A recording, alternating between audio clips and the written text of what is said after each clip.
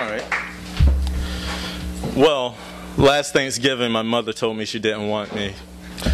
But she told me the nicest way possible, so it's okay. It's actually a strange story. In uh, 1981, I believe, my mother had her first three children. She was ecstatic about it after marrying my father. And then she went on birth control. So a year later, she still didn't have a child.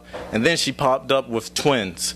So she took her first year off from having a child. Then she got blessed with those twins afterwards, even though she couldn't afford it and it was kind of sad. So following those twins, she decided that I'm going to go and get my tubes tied and make sure that I don't have my sixth child because there's no way I'll be able to pay for that.